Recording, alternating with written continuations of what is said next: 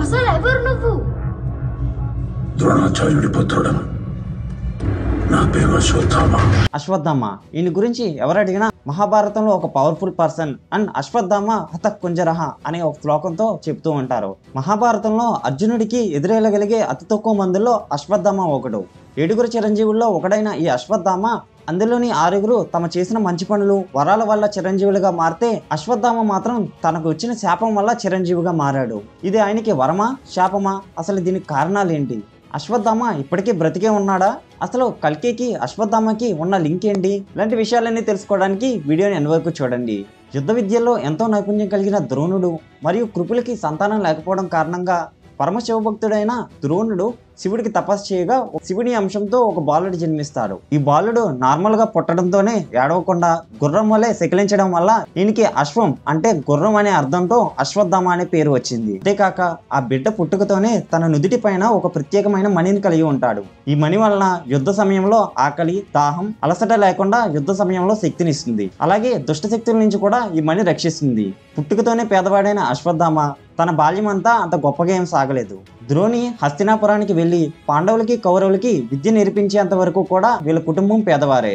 అశ్వత్థామ కూడా కౌరవులు పాండవులతో పాటు తన తండ్రి ద్రోణాచార్యుడి వద్దే శిక్షణ పొందుతాడు. విలువిద్యలో ఎంతో నైపుణ్యం కలిగిన అశ్వత్థామ అర్జునుని మాత్రం మెంచలేకపోయాడు. ద్రోణాచార్యుడు అర్జునుడికి ఉన్న డెడికేషన్ చూసి అర్జునుని ప్రపంచంలోనే ది గ్రేటెస్ట్ ఆర్చర్ అంటే గొప్ప విలువిద్యకారిని చేస్తానని మాట ఇవ్వడం కారణంగా అర్జునుడికి బ్రహ్మాస్త్రాన్ని ఎలా సంధించాలో నేర్పిస్తారు. అయితే అప్పటికి ఎవరికీ తెలియకుండా తన కొడుకు మీద ఉన్న ప్రేమతో తన కొడుకు ఉద్వేగపరుడు అని తెలిసినా సరే ద్రోణాచార్యుడు అశ్వత్థామకు కూడా బ్రహ్మాస్త్రాన్ని ఎలా ప్రయోగించాలో నేర్పిస్తాడు.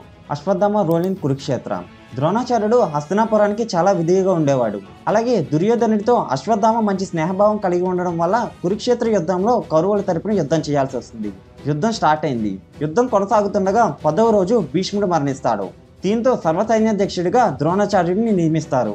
అత్యంత శక్తివంతమైన ద్రోణాచార్యుడు రంగంలో ఉండగా అతని ఆయుధాలతో మనం ఓడించలేమని తెలిసిన కృష్ణుడు ఇక్కడే ఒక పథకాన్ని పన్నాడు. ఈయన పథకం ప్రకారం అశ్వత్థామ అనే ఏనుగును భీముడు చంపి అశ్వత్థామ అత అని అరుస్తూ ద్రోణాచార్యుడికి వినిపించేలా చేశాడు. ఈ మాట విన్న ద్రోణాచార్యుడు నిజంగా తన కుమారుడు అశ్వత్థామ యుద్ధంలో మరణించాడేమో అని దుఃఖంతో కృంగిపోతాడు. ఇది అదునుగా చూసుకుని ద్రుపద రాజకుమారుడు దృష్టద్రుణ్యుడు ద్రోణాచార్యుని చంపుతాడు. ద్రోణాచార్యుడి మరణం అలాగే పాండవుల పథకాన్ని తెలుసుకున్న అశ్వత్థామ కోపంతో రగిలిపోయి నారాయణ అస్త్రాన్ని పాండవులపైకి సంధిస్తాడు. నారాయణాస్త్రం ఇది కేవలం ఒక్కసారి మాత్రమే ఉపయోగించగలరు. అలాగే దీన్ని సంధించినప్పుడు ఒక్కసారిగా ఆకాశమందం మబ్బులు పెద్ద పెద్ద శబ్దాలతో కొన్ని లక్షల కొలది బాణాలు పాండవుల సైకి దూసుకువెళ్ళడానికి ఆకాశంలో రెడీగా ఉన్నాయి. ఇది గమనించిన కృష్ణుడు తన సైన్యం చేతిలో ఉన్న ఆయుధాలన్నీ క్రింద పడి నారాయణాస్త్రానికి లొంగిపోమని ఆదేశిస్తాడు. కృష్ణుడు ఇలా చేయడానికి కారణం ఏంటంటే నారాయణ అస్త్రానికి ఎవరైతే లొంగిపోతారో వాళ్ళ మీద ఎటువంటి ప్రభావం అయితే ఉండదు. ఎవరైతే ఆయుధాలు పట్టుకుని నారాయణ అస్త్రాన్ని వైపుకి ఎదురు తిరుగుతారో వాళ్ళ మీద మాత్రమే ప్రభావం చూపుతుంది. సో కృష్ణుడి సలహా మేరకు ఆయుధాలు వదిలేసిన సైనికులందరూ కూడా ఈ నారాయణాస్త్రం ప్రభావం నుంచి తప్పించుకుంటారు. దీంతో అశ్వత్థామ ఒక్కసారి మాత్రమే ఉపయోగించగలిగే ఈ నారాయణాస్త్రం వ్యర్థమైపోయింది. ఓటమి అంచుల్లో దుర్యోధనుడు అలాగే విజయం చేరువలో పాండవుల సైన్యం ఉంది. ఇదంతా ఓర్చుకోలేక పగచల్లారిన అశ్వత్థామ దుర్యోధన నా తండ్రి మరణానికి కారణమైన పాండవులు నీకు ఈ పరిస్థితి పట్టించినందుకు గాను ఈ రాత్రికి వాళ్ళ పాండవులందరినీ కూడా అంతం చేస్తాను అని దుర్యోధనుడికి చెప్పి యుద్ధనీతి కాకపోయినా రాత్రి సమయంలో పాండవుల శిబిరాల్లోకి ప్రవేశిస్తాడు. కోపంతో రగిలిపోతూ పాండవుల్ని ఎలాగైనా అంతం చేయాలనే కసితో అశ్వత్థామ పాండవుల శిబిరాల దగ్గరికి వెళ్ళగా అక్కడికి సడన్గా ఒక వ్యక్తి వచ్చి అశ్వత్థామతో యుద్ధం చేస్తాడు. దీంతో ఓడిపోతున్న అశ్వత్థామ ఈ పాండవులను ఎప్పటికీ నేను ఓడించలేకపోతున్నానని తనకు తానుగా అగ్నికి ఆకృతి అయిపోతారు ఆ అశ్వత్థామతో యుద్ధం చేసిన వ్యక్తి మారువేషంలో ఉన్న మహాశివుడు. దీనికి మెచ్చిన మహాశివుడు ఒక ఖడ్గాన్ని అశ్వత్థామకు ప్రసాదిస్తాడు.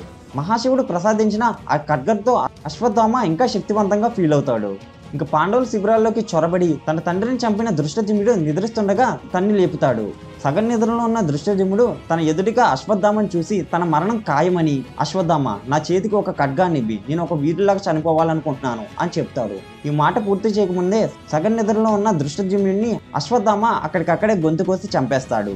వీరితో పాటు అక్కడున్న ఉప పాండవులు అశ్వత్థామ మీదకు రాగా అశ్వత్థామ వాళ్ళందరినీ కూడా సంహరిస్తాడు. ఆ సమయంలో అశ్వత్థామ మీదకు పాండవుల సైన్యం కత్తులు పట్టుకుని వచ్చినప్పటికీ అశ్వత్థామ మహారథి అంటే ఏడు లక్షల ఇరవై వేల సైన్యాన్ని ఒక్కసారిగా సునాయాసంగా ఓడించగలిగే సామర్థ్యం ఉంది.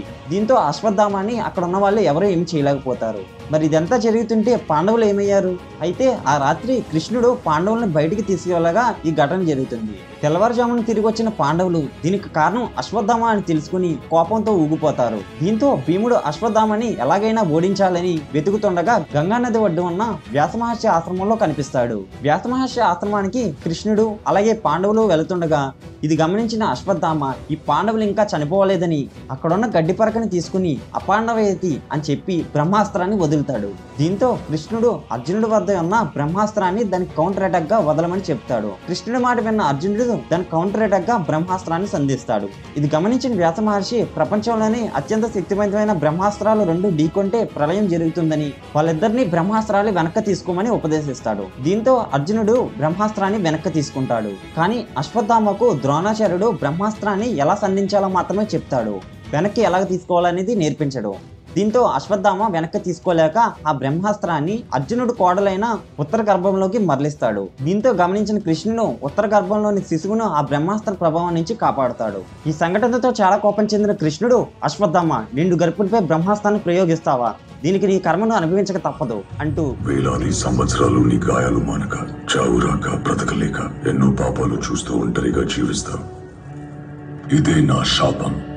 త్రీని వర్ష సహస్రాన్ని చరిష్యసి మహిమమాం అంటూ అశ్వత్థామని శపిస్తాడు. దీని అర్థం మూడు వేల సంవత్సరాల పాటు నీవు నీ గాయాలు మానకుండా రోగాలతో చీము నెత్తురుతో ఎవరితోనూ మాట్లాడకుండా జనసంచారానికి దూరంగా జీవిస్తూ బ్రతకాలి అంటూ తన నుదిటి మీద ఉన్న చింతామణిని తీసుకుంటాడు. అయితే ఇప్పటికీ కూడా అశ్వత్థామ బ్రతికి ఉన్నాడని కొంతమంది నమ్ముతూ ఉంటారు. శ్రీకృష్ణుడు ఇచ్చిన శాపం ప్రకారం కేవలం మూడు వేల సంవత్సరాలు మాత్రమే ఆ శాప ప్రభావం ఉంటుంది. అయితే మహాభారతం జరిగే ఇప్పటికే ఐదు వేల సంవత్సరాలు దాటింది. దీని అర్థం అశ్వత్థామ మరణించాడనా?